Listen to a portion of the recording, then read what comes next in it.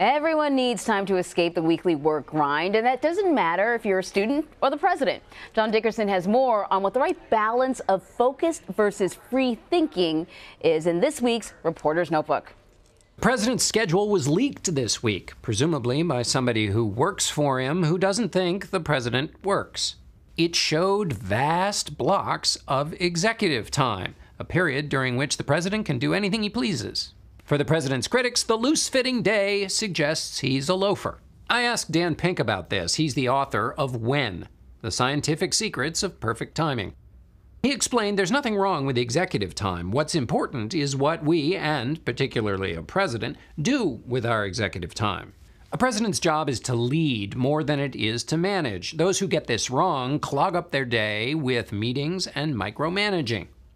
Because the public misunderstands this, presidents often have to look like they're working to avoid criticism. But top executives know that free time is important to think about strategy and vision. A Harvard Business School study found that top CEOs carve out about a quarter of their day for this kind of creative thinking. But other thinking is required too. Blue sky visions are great and all, but large organizations demand systematic and focused work that is done in those tighter scheduled times. So we should ask ourselves and our presidents are we using the two types of time wisely? Is scheduled time crisp and informative? Is free time generating insights? Reports from inside the administration suggest structured time is chaotic, and free time, sometimes occupying nearly 60% of the day, often coincides with television inspired tweets. Dan Pink points us towards President Dwight Eisenhower's quadrant system that he created to sort priorities. Urgent and important matters require focused time. Important but non urgent tasks can be handled during executive time. Where we all fall into the bog of woe is when we spend executive time on matters that are urgent but not important, or not urgent and not important. That's lost time, or worse, it's time where fire drills are created that ruin everybody else's day.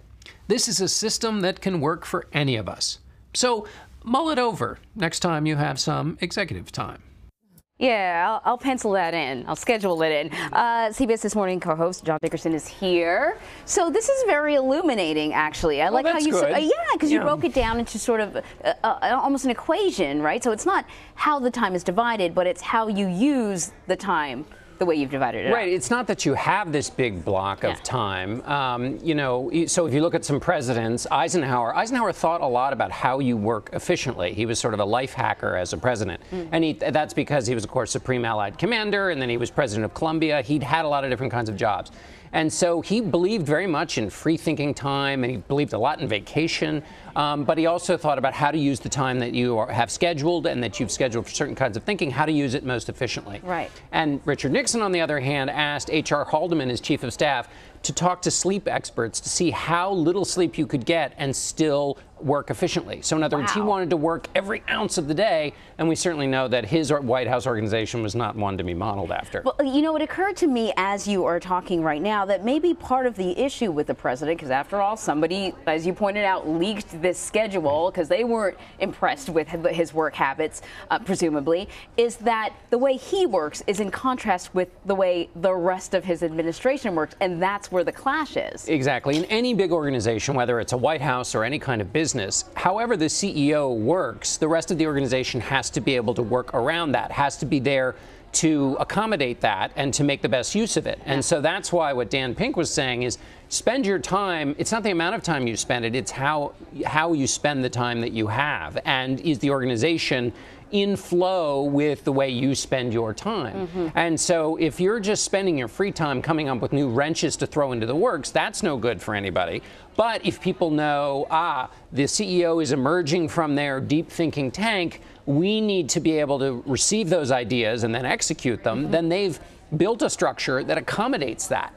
Uh, the challenge in this White House is that there's lots of banging and, and, and back and forth between the way the president spends his time and the way the organization, to the extent there is an organization, responds to it. Still, we were sort of hung up on this 60% of his time, right? Well, and we and you're right. Now, executive time, it's this running joke is that it's really tweeting television time, a little TNT, if you will. Um, so is should we be hung up on this 60%?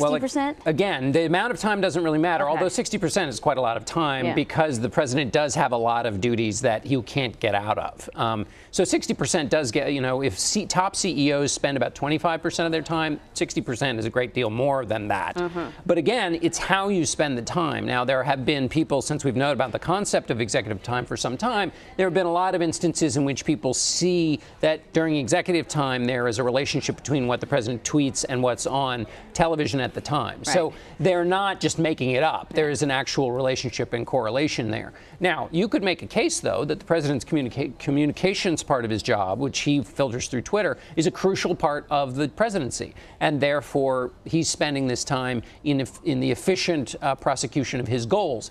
But then you'd so have to look. Then you'd have to look at what are the priorities that he, you know, what, what's interesting about free time is it's essentially what are your priorities? Because that's what, if you're an efficient worker, you put your free time towards your priorities. So it's a way to tell whether the president or anybody has the right priorities for their job in how they, ask them how they spend their free time at work. I love that. Um, all I know is I don't have en- enough executive time, quite frankly, but I'm sure neither do you. Yes, I know it's a concept with which I am only familiar Yes. from a distance. It's strictly theoretical. Yes, exactly. Uh, John Dickerson, thank you so much. Sure thing.